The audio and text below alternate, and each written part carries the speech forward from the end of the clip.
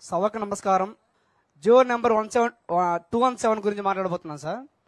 ఇంతకు ముందు వరకు టూ వన్ సెవెన్ అంటే డ్యాములు చెరువులు ఇవన్నీ మత్స్యకారుల సొసైటీ తరపున సొసైటీలో ఉండేవి సార్. ఈ ప్రభుత్వం వచ్చిన తర్వాత ఆన్లైన్ ప్రాసెసింగ్ చేసి Jio one- Jio number two seven తెచ్చి ఆన్లైన్ ప్రాసెసింగ్ చేసి వాళ్ళ నాయకుల స్వల- స్వలాభం కోసం మత్స్యకారుల జీవనోపాధిని లేకుండా చేస్తున్నారు సార్. ఈ జియో ఈ జియోని రద్దు చేసి ఈ మత్స్యకారుల జీవనోపాధిని కలిగించ కలిగించవలసింది కోరుతున్నాం సార్. తెలుగుదేశం పార్టీ అధికారంలోకి వచ్చిన మొదటి వంద రోజుల్లో జియో టూ వన్ సెవెన్ రద్దు చేస్తున్నాం. Hundred days. ముందస్తు ఎన్నికలు వస్తే ఇంకా అర్లీగా చేస్తాం. సభకు నమస్కారం. ముఖ్యంగా మేము జా మత్స్యకారుల కుటుంబానికి సంబంధించినటువంటి వాళ్ళం. మా మాది తడ మండలంలో దాదాపు సుమారు పదిహేను గ్రామాలు జీవిస్తున్నాయి. మత్స్య అంటే జీవనోపాధిగా జీవిస్తున్నారు. ఇదే కాకుండా వీరంతా కూడా పులికాట్ సరస్సు పైన అక్కడ ఉన్నటువంటి చేపలను పట్టుకొని వారి యొక్క జీవనోపాధి జరిగేది. వారు గతంలో పుష్కలంగా జీవనోపాధి జరిగేది. కానీ ఇప్పుడు ఆ పులికాట్ సరస్సులో తగ్గిపోయినాయి సార్ నీళ్ళు బాగా ఎండిపోయాయి. ఎందుకంటే ఇక్కడ మనకు వాకాడు ఏరియాలో రాయదూరు దగ్గర ముఖద్వారం మూసుకుపోయింది సార్. ఇది గత ఇరవై ఇరవై సంవత్సరాల నుంచి ఉన్నటువంటి సమస్య సార్ ఇది. ఈ వచ్చేటువంటి సమస్య ప్రతి ప్రభుత్వం చెప్తూనే ఉంది. దీనికి కొన్ని శాంక్షన్ కూడా చేశారు. దాదాపు మన గత ప్రభుత్వం మన తెలుగుదేశం ప్రభుత్వంలోనే నలభై ఎనిమిది కోట్ల రూపాయలు శాంక్షన్ చేశారు. కానీ వర్క్ మాత్రం జరగలేదు సార్. ఇది విశాలమైన సరస్సు. సుమారు ఆరు వందల డెబ్బై సదరపు కిలోమీటర్ల విశాలమైనటువంటి సార్. ఇప్పుడంతా ఎడారి ప్రాంతంగా కనిపిస్తుంది సార్. తర్వాత ఇక్కడ ఆ దాంట్లో చాలా నీళ్ళంతా వెళ్ళిపోయి తమిళనాడు కూడా కొంత సం- సంబంధం ఉంది సార్ దీనికి. పులికాట్ లేక్కి దక్షిణ భాగంలో బాగా పల్ల ప్రాంతం సార్.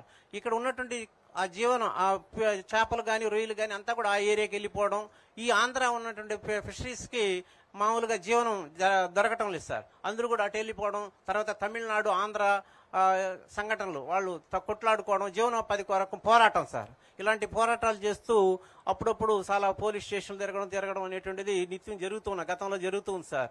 దా దానివల్ల ఇప్పుడు మాకేందంటే ముఖ్యంగా దీని సమస్య ఏంటంటే ఈ ముఖద్వారాన్ని మన ప్రభుత్వం చేయాలా అనేటువంటిది. మీ ప్రభుత్వం వచ్చినప్పుడు మీరు చేయడానికి మేము కోరుతున్నాం సార్.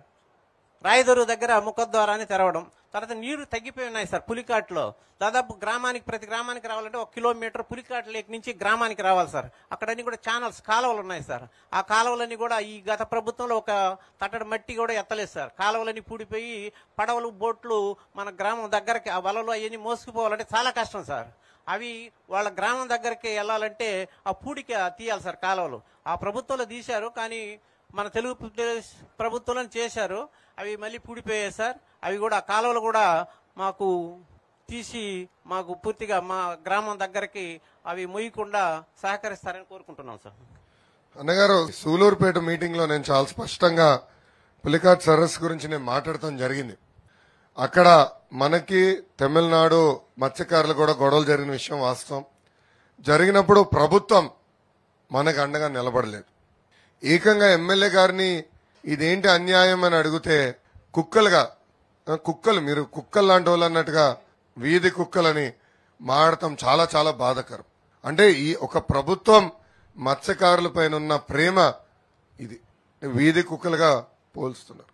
కనీసం గౌరవ ముఖ్యమంత్రి గారు పిలిచి ఏ నువ్వు చెప్పింది తప్పు క్షమాపణ కోరు అని కూడా చెప్పే పరిస్థితి లేకుండా ఏ ఒక్క కులాన్ని కించపరిచే విధంగా ఎవరు మాట్లాడుకోరు. కానీ చూడండి సమస్య పరిష్కరించండి అని అడిగినందుకు వీధి కుక్కల్లాగా పోల్చేశారు మత్స్యకారులు.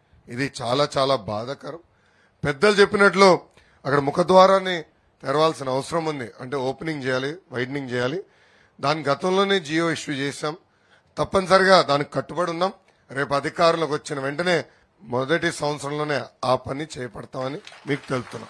రెండోది ఛానల్స్ అన్ని కూడా గతంలో పూడిక తీస్తాము నాచు తీస్తాం అనేది బాబు గారు ప్రతి సీజన్ చేపించేవారు.